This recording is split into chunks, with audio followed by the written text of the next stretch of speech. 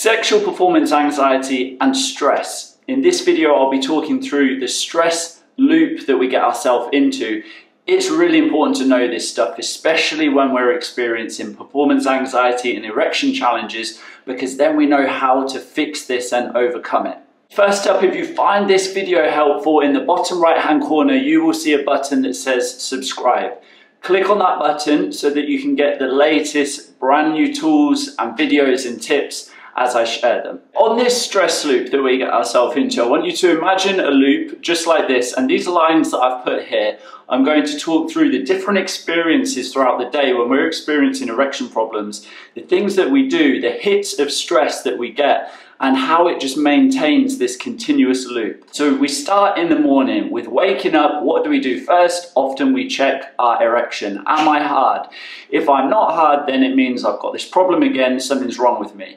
That immediately is a mini stress hit. I want you to see that as like, imagine a nail going into a plank of wood.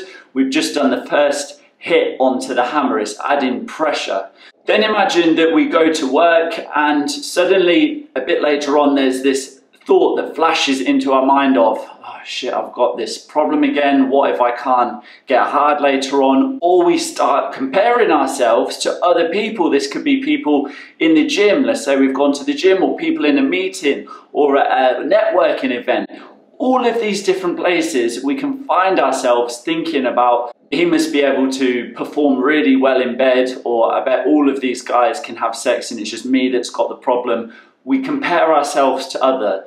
So now imagine this nail in the piece of wood, and that's two more or three more hits, more pressure, more stress that is stacking on top. Then imagine a little bit later on in the day, right, the afternoon just after lunchtime. Now we're researching online, trying to find more information, watching more videos, trying to find the one thing that makes sense to solve all of this.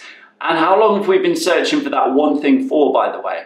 We're in this trap that feels like this desperation search. It's this constant search for more information because we feel a sense of purpose doing that but also we feel like we're just, if I can just get this extra bit, and that day never comes. Whilst it feels like it's helpful, it's actually adding more stress because we're thinking about it more, we're flicking our attention around more from this video to that video to this bit of information, and that is just more and more and more for our mind to take in. If you can relate to those, just those first three that I've gone through, this is the moment I'd like to invite you to take the performance anxiety quiz. If these three make sense and you feel you just want to fix this and actually overcome performance anxiety, then in the comment section below you'll see the link to the performance anxiety quiz. This is 10 very simple yes or no questions you ask yourself so that you can get to the bottom of what's going on and feel normal again. Click on that link and it will take you straight to those 10 questions.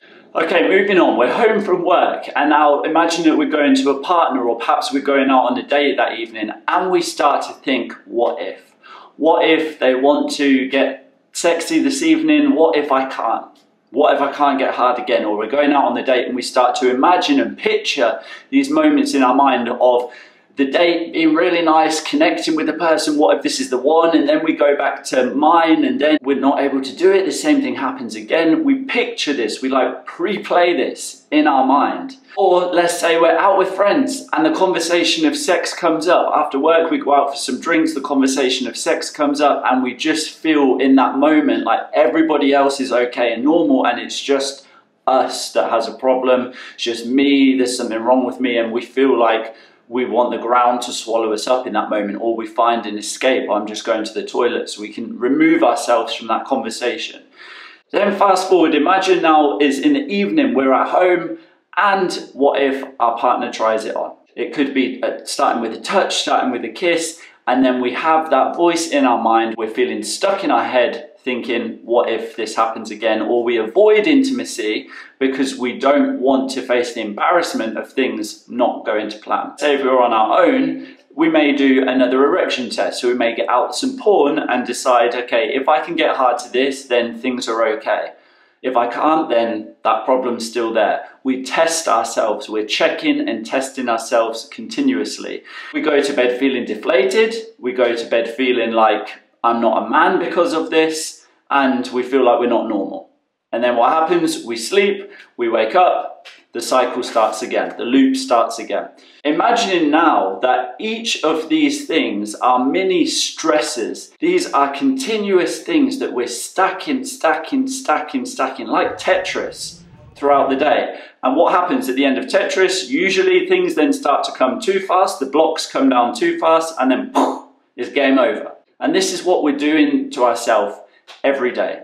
We're playing a game of Tetris with our mind every day, but instead of the blocks, it's stacking stress with these mini hits of stress. And it gets to the point where we're not able to fit any more stress into our backpack or into our mind, and then it resets and starts again the next day. If you can relate to this, quite simply, it's time to break this loop. It's time to fix performance anxiety and seriously overcome it using tools that work. I honestly believe the first step is understanding what is going on, what's at the bottom of this, because then we're able to start moving forward. So head to the comments below now. If you haven't already, take that yes or no quiz. I will see you right there.